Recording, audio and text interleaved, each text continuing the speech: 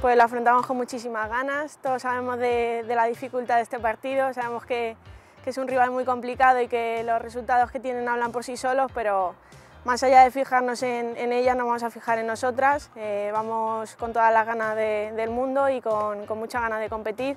Estamos haciendo muy buenas semanas de entrenamiento y esperemos rascar algún puntito de allí. Sabemos que es muy difícil, yo además debuté allí el año pasado y, sé la dificultad que, que hay, pero bueno, eh, como siempre con la ilusión de, dar la sorpresa, ¿no? de ser el único equipo que, le pone las cosas difíciles y, con muchas ganas. Tiene muy buena plantilla que, tiene nivel para competir en Europa y, bueno, eh, también es un gran desafío, un, reto muy importante que, es bueno también para, para un equipo tan joven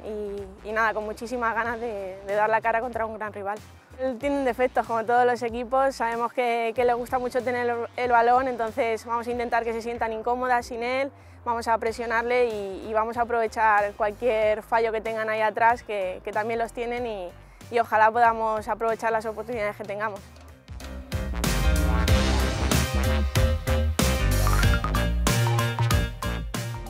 Sabíamos que teníamos que, que dar un puntito más, que estamos en una posición buena de la tabla, pero queremos seguir mirando los puestos de arriba de la clasificación y sabíamos que teníamos que meter un puntito más de intensidad, de, fuerza en los entrenamientos y, es lo que nos están pidiendo y lo que estamos llevando a cabo bastante bien. O sea, creo que la semana pasada fue seguramente la mejor de, toda la temporada de entrenamientos y esta semana de momento lleva muy buen ritmo. la clasificación está muy apretada, tanto por arriba como por abajo, y es por eso que queremos seguir mirando hacia arriba, meternos entre, entre los ocho primeros y, seguir.